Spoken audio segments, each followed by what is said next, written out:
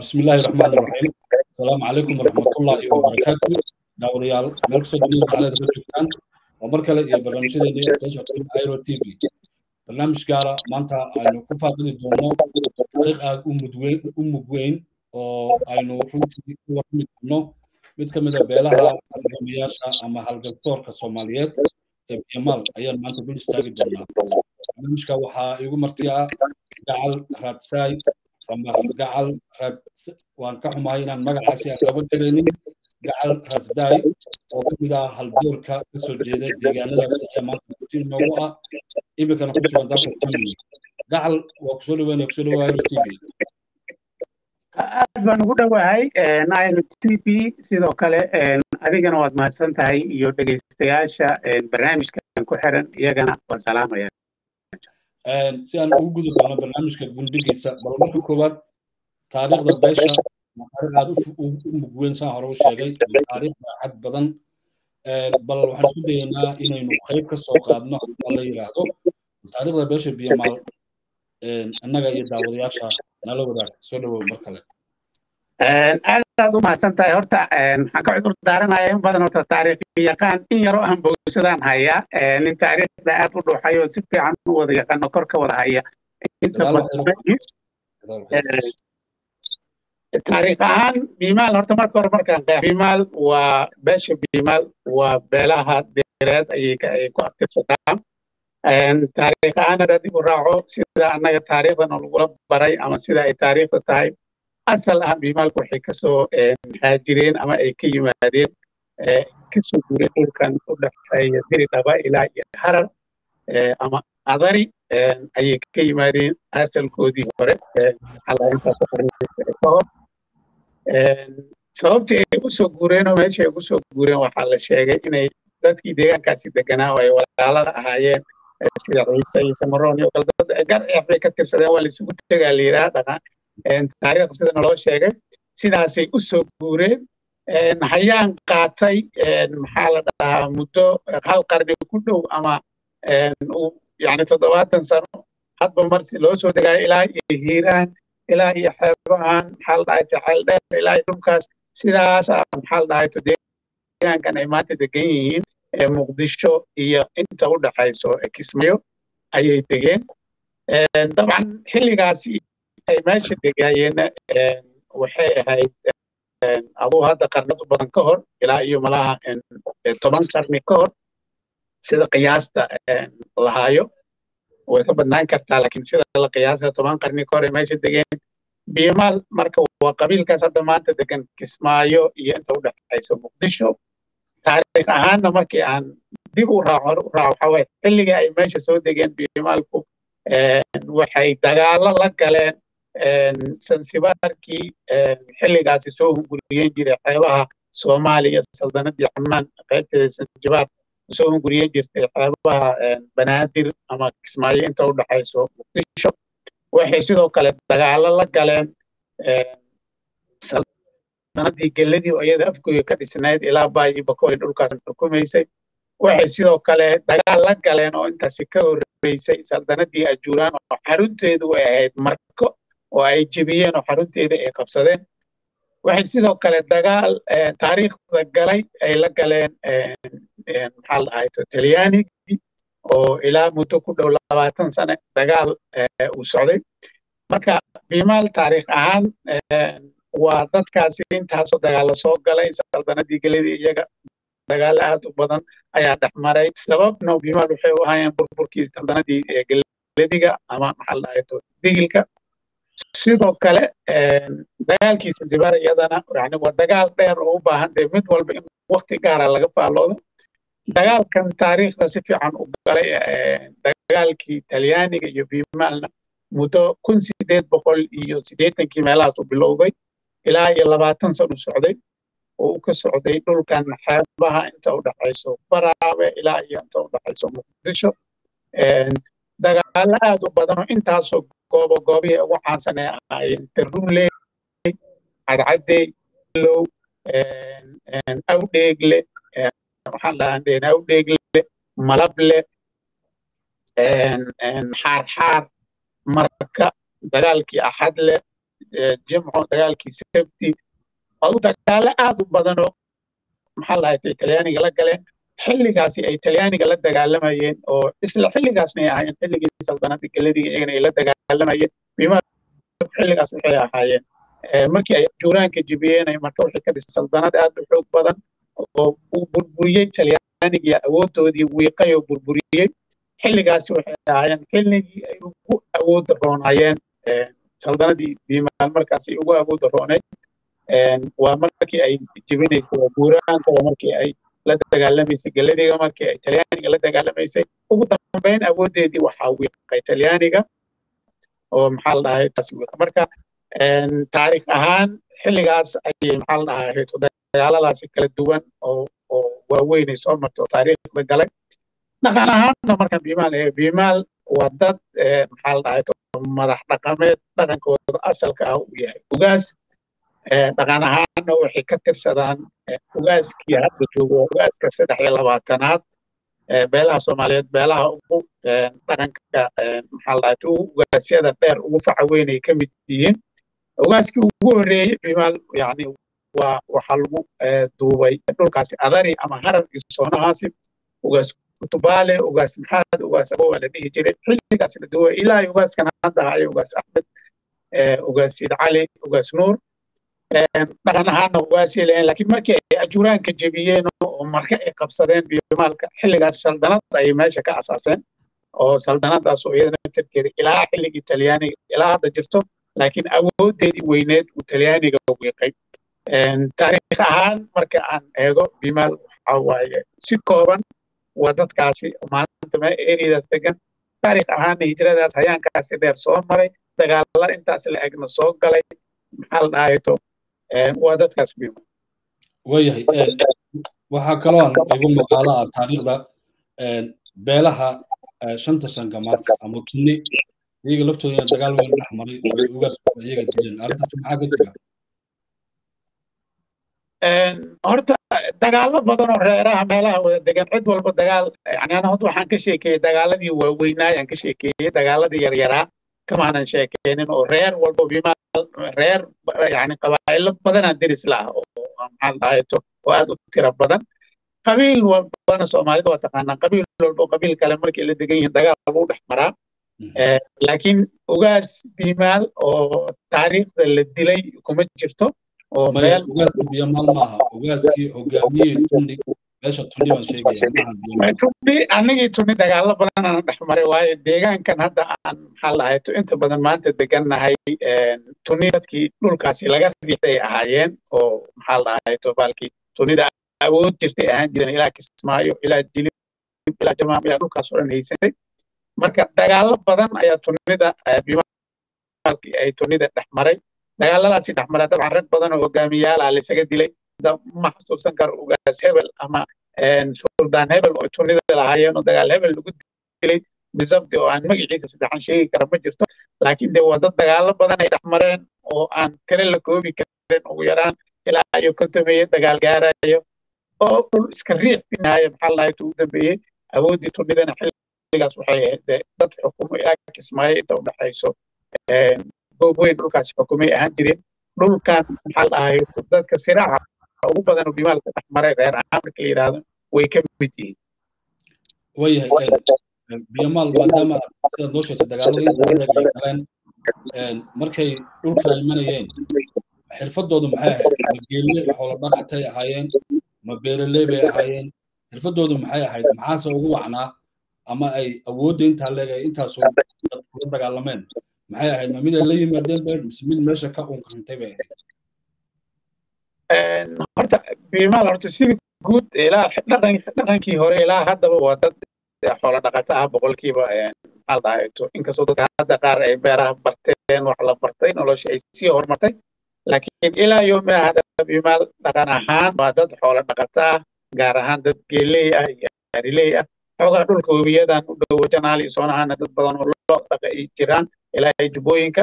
laakiin si guud ah biimaal waa qabiil xoola dhaqata awooddan markii ay imaanayeen dabcan dad reer guuraa ah oo warankooda iyo wuxooda maxaa dhahayeto iyo munkooda garabka ku watay ahaayeen seefafkooda maadaama dhulkan ay deganaayeen meesha yani dagaalkan tirada badan waxa keenay deegaanka markaasi la deganaa ama ay soo degeen ayaa wuxuu ahaa deegaan awoodo badan oo ayaga maxaa la dhahay to markaasi ay asaasmayeen ka awood roonaa faktii hore laakiin maadaama ay dadkii meesha deganaa dad xoogaa badan bilay ahaayeen iyagana dad xoolo dhaqatay ahaayeen xoolo dhaqatadana inta badan ay yihiin dad dhib badan oo dagaal joog ah oo jooga ay yihiin taasaa keentay inay maxaa la dhahay dadkii eriyadaas degnaa ay ka awood roonaadaan laakiin awoodda ugu badan waa xilligii ay marka qabsadeen oo ay ajuuraanka meesha ka kiciyeen saldanadii ajuuraan markaasay awooddoodii ugu badan markaasi day xilligii ay talyaaniga la dagaalamayeen waxay ahayn xilligii ay ugu awood roonaayeen xilligii ay ugu dhaqaalo roonaayeen dhaqaale ahaan iyo awood ahaan ganacsiga xataa waxay ka qayb galeen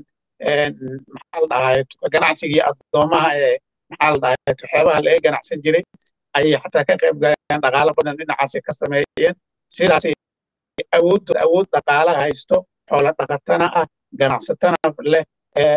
dagaalyahanana ah oo xoolo leeyahay ahaayeen. Awooddaasi marka xilligaasay kobocday oo xilliga juuraanka marka laga qabsaday oo maxaa la dhahay to qarnigii waxaan u malaynaa qarnigii lixtanaad ay ahayd xilligaasi awooddoodii awooddii ugu weynaad ee ilaa talyaani uu ka burburiyey. Waayahay waxaan u imanaynaa qodobka labaad ee barnaamijkeena beelaha biyamaal deegaanadooda iyo dadka ay ood wadaagta yihiin waayo horta bimaal deegaanaan horaan kugu sheegay muqdisho laga bilaabo ilaa iyo kismaayo inta u dhexeeya ayay deegaankooda weyn bii degan yahay. Reero kaloo bimaal oo jifooyin oo hayaanka uu maxaa xilligii imaanayo yani uu kala geeyo waa jiraa oo maanta degan kelinka shanaad reerkan gaadsanka la yidhaahdo oo laf bimaal ka tirsan oo gobolka afdheer iyo wax degan sidoo kale bakool degmooyinka rabdhuur iyo luuq iyo wax ka degan sidoo kale bimaalkii inta soo dega markii dagaaladii badnaa ay galeen dad badan oo ka mid oo hayaamay oo gobolka kenya soomaalida kenya galay oo maanta degan weliba gobolka waqooyi bari maahna degan gobolka tanariifa iyo qayb ka mid a gobolka oo weli meeshaasi xoolole geeley ku ah maanta deganaa jiro oo weli reeraha inta degana waxaa ku soo marka deegaankan weyne bimaalka loo yaqaano waxay deris yihiin dhanka muqdisho iyo xaggooda waxay deris ka yihiin wacdaan la dhashay wacdaan oo mudulooda. Marka waxay deris yihiin sidoo kale soona afgoy meel u dhow waxay deris ka yihiin hintire qoladan la yidho oo talhayo uu ka jeedo. Markaad hintiraha ka tagto waxay deris yihiin begedi waxay deris yihiin garre waxay deris yihiin jiito waxay deris yihiin tunni waxay jubbooyin jubbada dhexe deris ka yihiin sheekaal sidoo kale nimankan mushunguli iyo shambare ayagana jubbooyinka ay deris ka yihiin. Wadad soodin intaasoo qabaa'il la wadaago. Dadka markaa iminkaad noo sheegtay waa dad aad u ballaaran. Marka deegaano gooni ah oo aruursan oo biyamaal ku magacaaban yihiin miyay jiraan waad intaan hadda ku sheegay bimaal markaad muqdisho iyo kismaayo dhulka u dhexeeyo o dhan waa webiga wixii ka soo bareen way jiraan meelo qaar oo webiga uu ka gudbo laakiin dhulka u dhexeeya badda iyo webiga laga bilaabo muqdisho ilaa kismaayo waa dhulka oo maxaa la dhahayeeto uu bimaal degan yahay. Qabiilo kale oo sida sheekaasha oo kale tunida oo kale oo la degana way jiraan laakiin kismaayo ilaa muqdisho inta u dhexayso waa qabiilka ugu baaran ugu tirada badan ugu wax badan ee meesha degan magaalooyinka haddaan ku soo qaada magaalada marka maxaa baraawe jilib jamaame jannaale sidaas ku soo wada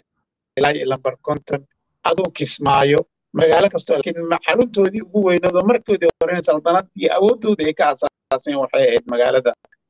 marka ay ahayd oo ilaa berigaasi xaruntoodii ahayd oo saldanadoodii ay meesha ka dhisteen markii ay juuraanka ka qabsadeen marka magaalo kasta muqdisho ka bilow ilaa ay kismaayo ku geyd magaalo kastoo ku taalo bimaalku maxaa la dhahay way degan yihiin. Magaalooyin qaar oo ayaga ay maxaa la dhahay boqolkiiba ayaga majority ka yihiin qaar ayaga ay ka yihiin maxaa la dhahay qayb ka mid ah boqolkiiba soddon boqolkiiba kod boqolkiiba labaatan. Laakiin deegaanka miyigooda from laga bilaabo dhanaane ilaa iyo goobeyn ku geey si ku yihiin marka magaalooyinkoodan waa kuusoo sheegay waa jamaame waa jilib waa baraawe waa marka markana xaruntoodii yaad ilaa magaalooyinkan dhulka u dhexeeya xeebta ilaa iyo meesha la yidhaahdo webiga intiisa badan iyo muqdisho ka bilaabo ilaa kismaayo waayahay qaybihii ugu dambeeyey barnaamijkeena ayaan ku shaqaynaa beelaha biyo maalmaanta siyaasadooda midda dhaqan iyo dhaqaale iyo nololeed iyo iskhardoofkan qabaa'ilada soomaalida ka dhexeeya xaaladooda waa sidee طبعا بيمان horta guud ahaan waa dad culamo ah oo wadaada ah yani haddan dad culamo oo wadaada dad dhib badan ma ahan oo ilaa la soo gardaraysta ama lagu soo duulo ma ahan iyaga dad dad ku duulo ama dad daandaansada ma ahan dhaqankoodana dhaqan culumeed waayo waxa ku soo haray siyaasaddan hadda i weydiisay. Dabcan ishardankii isjiijiidkii beelaha ka dhex jiray iyo beel walba inay maamul goboleed yeelato. Siyaasaddaas qeybbay ka ahaayeen biimaalku isku day ay sameeyeen jiro maamul goboleed. Puntland la yidhaahdo oo la sameeyey maamul goboleedkiina dabcan uu shaqayn waaye uga shaqayn waa dhulkii intiisa badan oo waxaa haysatay. Shabaab ay la haysato laakiin deegaanka biimaalu maanta degan yahay wuxuu u qaybsan yahay gobolka jubbaland iyo sale gobolka koonfur galbeed. Laakiin aragtida dadka ay aaminsanaayeen oo markii ay maamul goboleedyadan la asaasayay waxay ahayn iyaga dhulkoodan isku xiran oo intaasi la-eg inay maamul iyaga u gaara ay ka samaystaan. Oo puntland la yidhaahdo oo dabcan la asaasay oo madaxweyne lahaa oo ku-xigeen lahaa oo wax lahaa oo la asaasay formalkiis dhamaystirnaa laakiin aanan suuragelin duruufihii xilligaasi jiray oo keenay darteed laakiin hadda maamul ahaan deegaankooda ku kala dhacsan yahay jubbaland iyo wuxuu kala dhacsan yahay maamulka koonfur galbeed. Waayahay sida guud dowladda federaalka marka laga hadlayo dhinaca fircoonida siyaasadeed rag badan waxaa jiro aad loo yaqaano oo dowladihii kala dambeeyey mar walba soo muuqday. Xaggey hadda mustaqbalka beeshu xaguu u badan yahay maxayse filayaan haddii uu maamulkaas u dhicsoobay aragtiya kala duwana horta dabcan cid walba oo ama beel walba soomaaliya waxay iska rabtaa inay waxeeda u gaara ay yeelato haddii ay awoodeeda iyo hankeeda iyo waxeeda uu gaarsiinayo laakiin aragti ahaan maamul goboleedyadan hadda maanta jiro reerka aragtida guud markaan ka fiirino kuma qanacsana intooda badan. Inay maamul goboleed ayaga gaar u leeyihiin iyo maxaa dhahayto inay egleelaan dad badan oo ay niyadooda tahay ololahaas ku jira way jiraan. Dadka in badan oo ka mid ah oo isaga qancay maamuladan hadda jiro koonfur galbeed iyo jubbalandna. In mid waliba siyaasad ahaan siduu u yahay lagaga qayb qaato midkii aad xaqaadi iyo waxaadi ka heshana sidaasi maxaa lagaga lagaga mid noqdana aragti ahaan guud siyaasiyiin badan oo ay qabaanna way iska jirtaa laakiin siyaasad ahaan marka la fiiriyo dabcan dadkeena waxay ahaayeen markoodii hore dadka reer miyay ahaayeen culumo iska badan oo aan firfircoonin siyaasadeed badan sida dadka qaarkii ama beelaha qaar ay yihiin aanan ahayn ayay ahaayeen. Laakiin in badan xilliyadii dambe ka mid ah dadka waxbay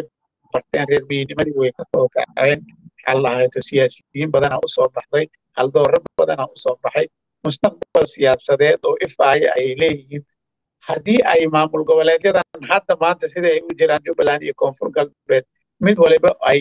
ay ka mid noqonayaan mid walba ay sida ay hadda uga tirsan uga tirsanaanayaan door firfircoon oo muuqdo ayay ka qaadan doonaan.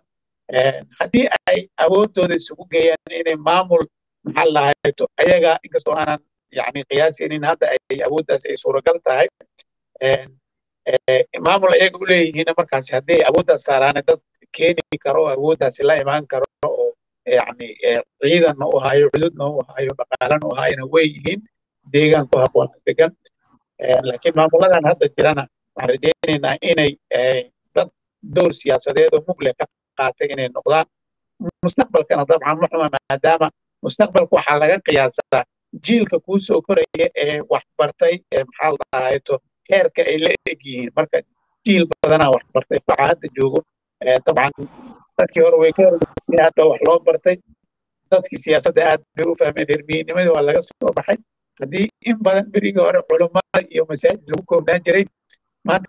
dad badan oo ah maxaa la dhinaca kalena wax ka barta way jiraan iyagoo diintoodii iyo wuxoodiina haysto. Waa hagaag